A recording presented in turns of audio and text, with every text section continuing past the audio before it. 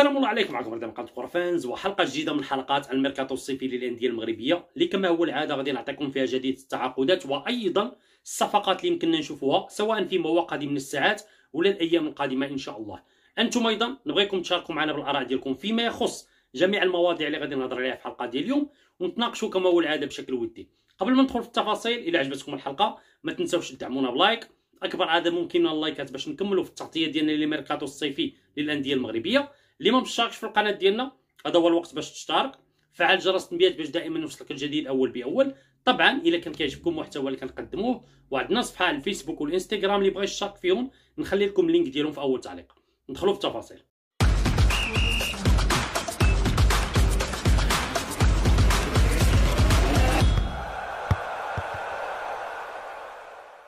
رسميا حسنية أكادير يتعاقد مع اللاعب التونسي فادي بن شوق في صفقة انتقال حر.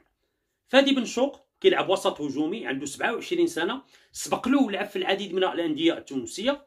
النادي البنزرتي الملعب التونسي النادي الصفاقسي وآخر نادي لعب له هو الترجي التونسي. رفقة الترجي التونسي فادي بن شوق لعب 46 مقابلة سجل فيهم سبعة ديال الأهداف. لاعب عنده خبرة وعنده تجربة القامة ديالو طويلة متر و89 لعب مع الترجي محليا وكذلك في المسابقة ديال دوري أبطال إفريقيا. وأكيد على أن الجماهير ديال حسنيه اكادير تنتظر الشيء الكثير من هذا اللاعب ويقدم الإضافة للفريق. قلت من قبل على أنني عاجبني الطريقة اللي خدام بها حسنيه اكادير هذا الموسم. تعاقد مع لاعبين بواحد الطريقة متوازنة في مراكز متعددة لاعبين عندهم خبرة وتجربة نزيدوا عليهم التعاقد مع مدرب كبير مدرب عالمي كنتحدث على البرازيلي باكيتا الذي يعرف كل كبيرة وصغيرة على كرة القدم الإفريقية. وكذلك كرة القدم في العديد من القارات بحكم على أنه اشتغل في العديد من المناصب بلا ما نساو الخبرة ديالو والتجربة ديالو مع العديد من المنتخبات. الشيء اللي لاحظته هذا الموسم العديد من اللاعبين من تونس ومن الجزائر جاوا البطولة ديالنا وأيضا العديد من المدربين. كمغربي مرحبا بهم في بلدهم الثاني المغرب وكنتمنى شخصيا على أن التجربة ديالهم رفقة الفرق ديالنا تكلل بالنجاح. وأنا دائما مع التعاقد سواء مع لاعبين ولا مدربين عندهم خبرة وعندهم تجربة يمكننا نستافدوا منهم. هذه المسألة تعتبر صحية. وهذه المسألة أيضا تدل على واحد النقطه مهمة جدا على أن البطولة المغربية ولات كتجذب انتباه العديد من الاطر والعديد من اللاعبين. بحكم أن الأندية المغربية خصوصا في السنوات الأخيرة ولات كتنافس على الألقاب الإفريقية وخير دليل على ما أقول في الموسم السابق لقبي دوري أبطال إفريقيا والكونفدراليه كان من نصيب المغرب. ولكن ما خصناش نساو واحد النقطة مهمة جدا. نتعاقدوا مع المحترفين ولكن ما نساوش المواهب الشابة ديالنا. قلتها من قبل ونزيد نعاودها مرة أخرى. إلا كنت غادي نجيب لاعب محترف ما غاديش يقدم الإضافة ولا في نفس المستوى مع اللاعب المحلي. من الأحسن على أنني نعطي فرصة للاعب المحلي. اللاعب المحترف من المنتظر دائما على أنه من اللقاءات الأولى يقدم الخبرة ويقدم التجربه ويقدم الإضافة بحكم على أنه لاعب محترف. نبغي نعرف الآراء ديالكم في التعليقات فيما يخص الميركاتو ديال حسنيه أكادير واش تتشوفوا على أن هذا الفريق قاد الموسم هذا على أنه ينافس على المراكز الأولى في البطولة المغربية. الرجاء الرياضي أيضا يواصل التحركات ديالو في الميركاتو الصيفي. قبل ما نهضر على الميركاتو ديال الرجاء بغيت نهضر على واحد النقطه مهمة جدا تخص اللاعب خابا لغاية الآن. يعني الأمور صراحة غير واضحة فيما يخص هذا الملف. الرجاء راسلت العربي الكويتي باش يلقاو واحد الصيغة توافقية باش الرجاء هذا الموسم يمكن له يعتمد على اللاعب خابا بدون مشاكل.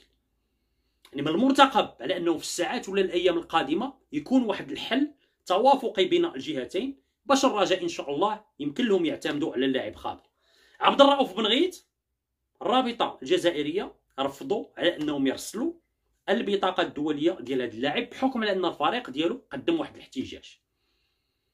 حل واحد عند الرجاء الآن هو انهم يراسلوا الفيفا باش ياخذوا واحد البطاقة دولية مؤقتة ومن بعد ذلك لجنة النزاعات هي اللي غيكون عندها الحكم النهائي فيما يخص هذا الموضوع.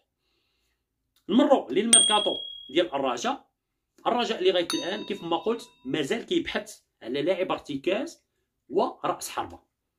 بنسبة كبيرة اللاعب روجي أهولو اللاعب الطوغولي اللي عنده 28 سنة سيوقع لفريق الرجاء الرياضي. يعني في الساعات القادمة ولعب على أبعد تقدير في الأيام اللي جاية. لاعب سابق في الاتحاد المونستيري سبق البنزرتي ودربه وبإلحاح كبير من المدرب البنزرتي هو اللي بغى يجيب هذا اللاعب. بعد خروج الورطي وخروج العرجون والخروج من قوما لاعبين اللي كان عندهم واحد الدور أساسي فيما يخص المركز ديال الارتكاز الرجاء مطالب بالتعاقد مع لاعب كبير دبابة في هذه المنطقة هذه. وروجي أهولو شفت له صراحة ال CV ديالو؟ لاعب محترم جدا. وكان كيقدم مستوى كبير رفقة الاتحاد المونستيري والبروفايل ديالو يناسب فريق الرجاء الرياضي. لغاية الآن فهاد الساعة اللي كنصور فيها أنا الحلقة لا شيء رسمي ولكن من المرتقب على أنه في الساعات القادمة الرجاء يحسم هذه الصفقة. لاعب القيمة التسويقية ديالو في الموقع ديال ترانسفير ماركت 500 ألف دولار نصف مليار نصف مليار. والعقد ديالو انتهى مع الاتحاد المونستيري يعني الرجاء غادي يجيبو يعني في صفقة انتقال حر. نتمنى شخصيا على أن الصفقة تتم لأن هذا اللاعب صراحة إلا جا للرجاء غادي يقدم واحد الإضافة كبيرة. فيما يخص المركز ديال رأس حربة الرجاء في مفاوضات جد متقدمة مع اللاعب أكسل مايي اللاعب ديال اتحاد طنجة. لاعب أكسل مايي كنعرفوه يعني في الموسم السابق كان هو وصيف الهداف ديال البطولة تنظن سجل 12 هدف وصراحة لاعب محترم عنده خبرة وعنده تجربة ويعرف كيعرف البطولة ديالنا وكيلعب أيضا مع المنتخب ديالو. وكيف ما قلت من قبل الرجاء ما غاديش يعاود يطيح في نفس المشكل. يعني الآن كاين واحد التريث فيما يخص التعاقد مع مهاجم. أكسل مايي كيتعتبر الهدف الأول لفريق الرجاء الرياضي ولكن كاين أيضا لاعب آخر مطروح. يعني صراحة هاد جوج ديال التعاقدات إلا دازو كنهضر على روجي أهولو وكذلك أكسل مايي غتكون واحد القيمة مضافة كبيرة لفريق الرجاء الرياضي يعني نبغي نعرف الآراء ديالكم في التعليقات. فيما يخص هاد جوج ديال التعاقدات أكسل مايي وكذلك روجي أهولو. وبغيت نهضر على واحد النقطة مهمة جدا. إلا جاو جوج ديال اللاعبين الرجاء خصو يخرج واحد اللاعب محترف لأن لأنكم كيف ما كتعرفوا الرجاء من حقه على أنه يعتمد على خمسة ديال اللاعبين محترفين فقط. بنسبة كبيرة اللاعب الجزائري مهدي بوكاسي غادي يكون هو اللاعب اللي غادي يخرج من الرجاء الرياضي. على الأقل كإعارة. وصراحه أي واحد تتبع الحلقات ديالي هضرت على هذا اللاعب لما تعاقد مع الرجاء جابوا من القوة الجوية العراقي.